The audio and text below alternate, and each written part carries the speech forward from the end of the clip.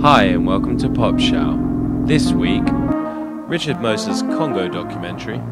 This is Eric Koston, IBM's Smarter Cities, William Betts' CCTV art, Kappo Cuisine by Tsuyoshi Murakami, the short film Magnesium, Craft Beer in America, the making of Jon Hopkins' music video.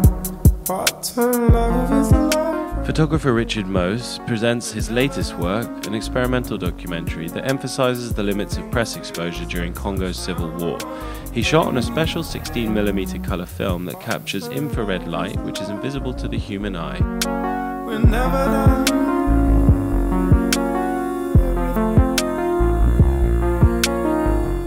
Collaboration with Nike SB, French magazine Desillusion created the stunning profile of legendary skateboarder Eric Koston. The 10 minute video sees Koston talk about his love for skateboarding, how he got the position he's in today, and what he wants for skateboarding in the future.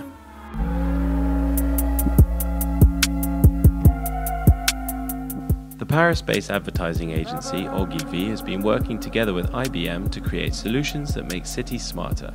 This commercial shows how the rounded edges of billboard advertisements can be used as a shelter from rain or a bench to sit down.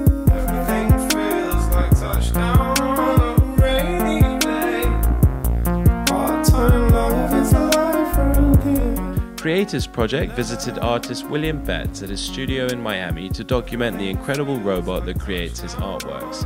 Betts, who previously worked in the software industry, uses CCTV stills, traffic cams, and photographs as the sources for his paintings, which are then translated into a CNC machine and painted dot by dot. Tsuyoshi Murakami's Sao Paulo based restaurant Kinoshita is known to be one of the most advanced Japanese cuisines in the world. Together with his colleagues, he invented the Kappo cuisine, which is based on traditional Japanese cooking methods of cutting, boiling, stewing, and frying. Enjoy.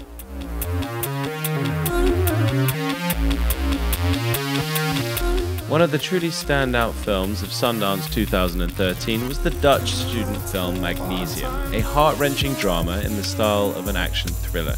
The 20 minute film tells the story of Isabel, a young woman trying to fight her way into professional gymnastics. Definitely worth a watch.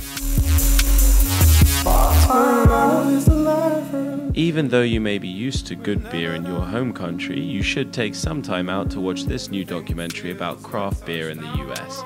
The 15 minute short demonstrates the economical, cultural, and culinary side of the human's favorite alcoholic drink.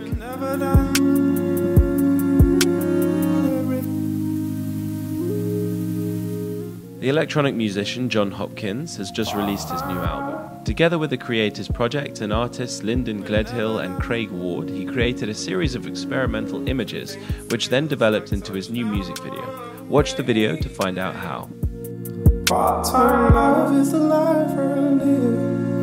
we're never done